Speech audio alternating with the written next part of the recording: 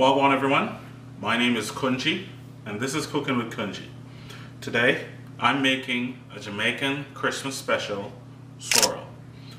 On the channel, one of my first videos that I put up was a sorrel video. This one is going to be better. I have more time to prep the sorrel.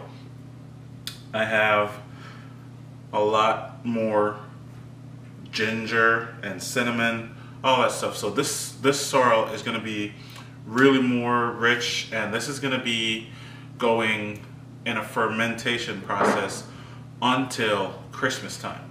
So you guys are gonna get to see when I open that. Stay tuned, see how I make this. Macarona wood.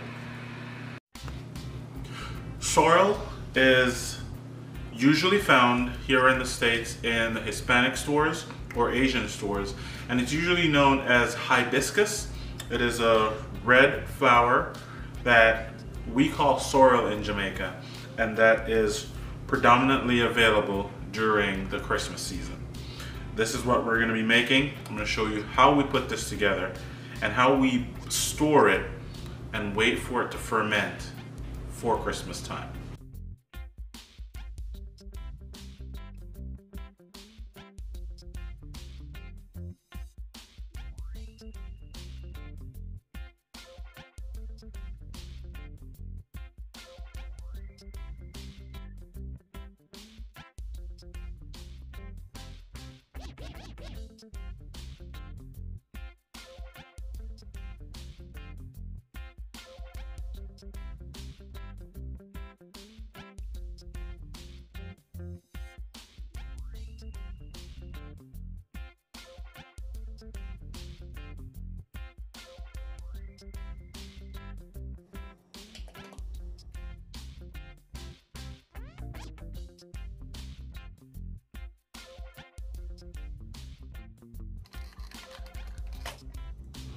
So this is super rich right now.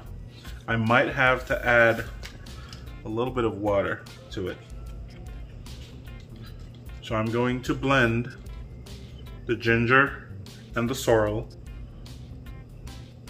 to get that rich ginger flavor, that ginger spice that we love in the sorrel. So what I did was give the sorrel and the ginger slight blend just to agitate those um, leaves and the shredded ginger and the pieces of ginger in there to give it an extra boost of flavor. You don't need to do the shredding. You don't need to do the blending. I'm just doing it, you know, to give it a little boost of flavor. And I just, each batch I just did for about 30 seconds on pulse. Um, nothing crazy.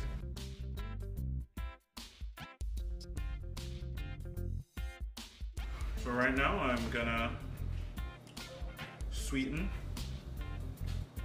the drink and granulated sugar is preferred because it's a, a sweeter sweet and you'll use less of this. With the brown sugar you'll use a lot more and it takes a longer time to get um, sweet. So with this, you get to the sweet spot quicker. Now, this took almost four pounds of sugar, this is two gallons. So,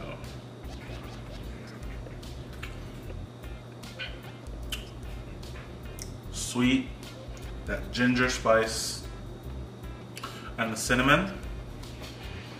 All right. So now, all I gotta do is add rum. And you will add rum to your taste.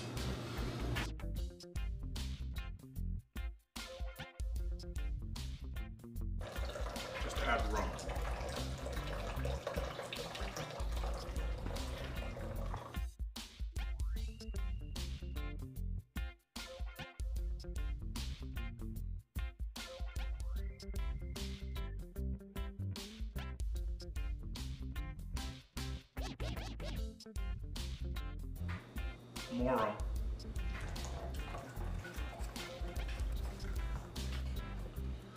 So I've never used a brown rum with this. I've grown up using the overproof rum. That's what was readily available in Jamaica, but I mean, you can experiment with the recipe and see if another rum works for you. But this is this is the king of Jamaican rum. So putting the sorrel for fermentation, there's some steps you want to follow. Need to have some allspice or pimento, as we know it in Jamaica. You need about a tablespoon of rice, just plain rice. Doesn't have to be any special rice. And you just want that to just be enough to cover the bottom of the bottle. That will help with the fermentation process.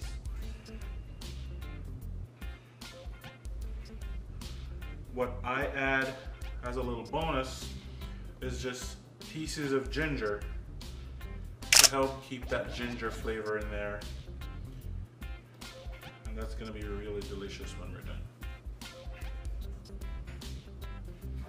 So to recap today's video, um, overnight for 24 hours what I did, used hot water and brew these hibiscus leaves along with some shredded ginger, pieces of ginger, some cinnamon leaves and cinnamon sticks, and just let that sit overnight. Tonight, just gave it slight blend just to agitate those flavors, Squeeze and drain them with some cheesecloth, and now what I'm doing is bottling with some allspice berries, some rice grains, and some ginger, and store that in a cool dark place for about two months and give it some time to ferment and create that delicious sorrel wine for Christmas. So we've come to the end of this video.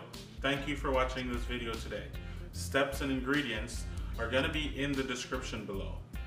At Christmas, I'm also gonna be doing a tasting of this drink, so look out for that on my Instagram.